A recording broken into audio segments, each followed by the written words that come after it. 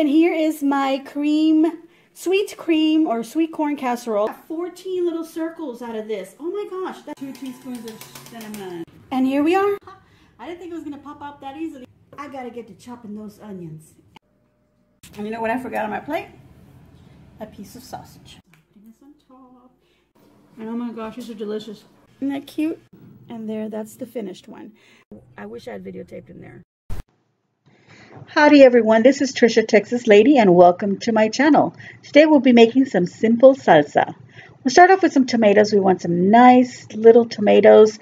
These are about a small to medium size. I'm going to be using five of them. You can use this type of regular tomatoes or Roma tomatoes. I'm going to be using a yellow onion. I think I only use about half of that onion. You can use the whole thing if you want. I'm also going to be using three large jalapenos. You can use serrano peppers instead of jalapenos if you like it a little bit hotter. I'd probably use about five of them. We're going to start out by chopping up our tomatoes. I'm really basically just cutting them in half and then in half again. So just basically cube these tomatoes as you can see here. Uh, I want to make sure I get that little bit off at the top, off of the tomatoes, and then they'll be ready to go into my pan. I'm doing the same with the jalapenos. I'm only cutting them in half. You don't have to cut them in half if you don't want to, but you can cut them in half or cut them into quarters. Make sure you take that little stem part off of them. We are going to be doing the same thing to the onions. And uh, I think I believe I said I was only going to use half of it, and I think that is what I did. So I took half of the onion and I cut it into thirds. That was basically it. Save the other part for some other time. Again, you can use the whole onion if you really like that.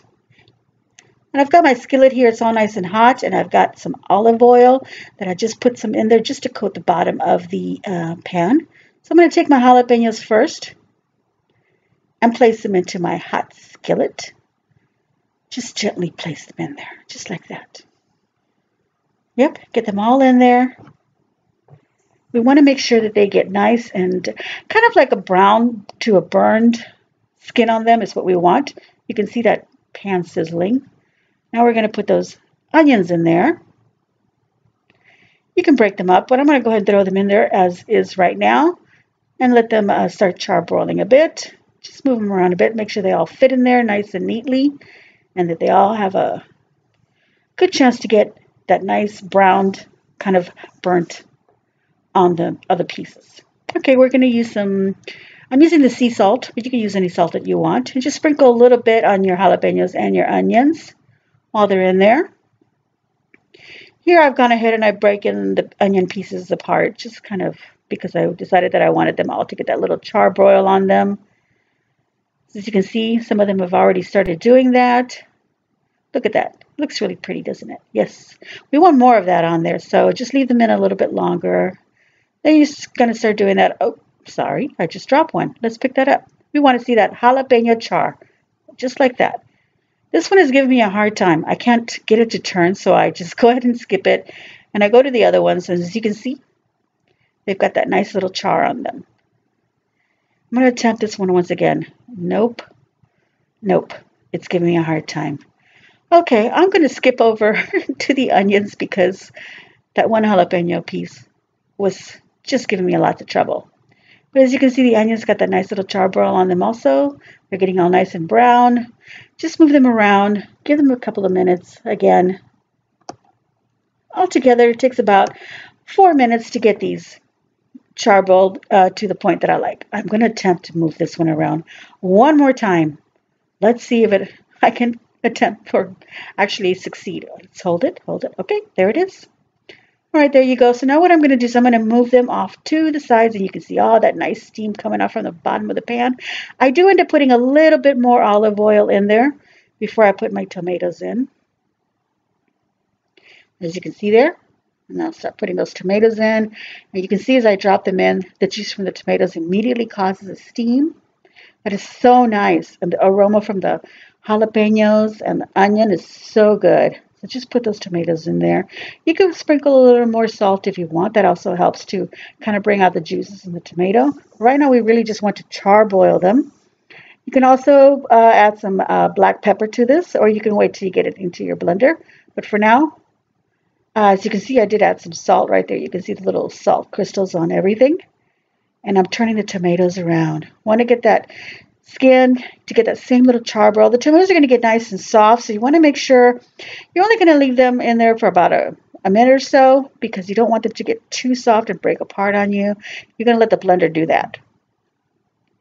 So just turn them around. I'm going to show you the skin in just a minute on one of these so that you can see what I'm talking about. If you want, you can take these uh, tomatoes out as the skin starts to kind of peel off a bit. See how that looks? You can take the skin off if you want. I'm not going to do that. I leave that in there. I'm sure there's got to be some vitamins in that skin that I really want in my salsa. So let's make this nice and healthy. And uh, if you want to make it even healthier, you can skip on adding the extra salt. And so you can see how beautiful they looked. Now I'm going to be putting these into the blender. So I pulled them off the uh, stove and I'm going to be putting the jalapenos and my onions and my tomatoes carefully into my blender. And I believe this is when I added some pepper because I, do, I did add some pepper to my salsa. At some point I lost some footage, but you get the idea. You see them in the blender? Yep. Okay, what I want to do is I want to add a little bit of liquid. So I'm going to add a little bit of this virgin olive oil that I was using in the skillet as I was uh, charbroiling all my little veggies. I'm going to add about a tablespoon. If you don't want to add any more oil, then skip this part and just go straight to the water. I'm using about a quarter cup. If you skip that, just about a quarter cup of water is fine. And just add that in there. You want to put that in there to help uh, the blender liquefy everything. So just make sure you cover it up before you turn it on and uh, just blend them up, liquefy them. As you can see, it looks really nice. And you can see it kind of turned kind of green. That's okay. It's probably from the jalapenos, but it does look a lot greener on camera than it does in real life. And I've got that skillet where I was cooking them in. I'm going to pour this salsa back into that skillet and get it back to that nice heated temperature so that I can serve this nice and hot to my family. I'm going to stir them around. You can see the little pepper flakes in there.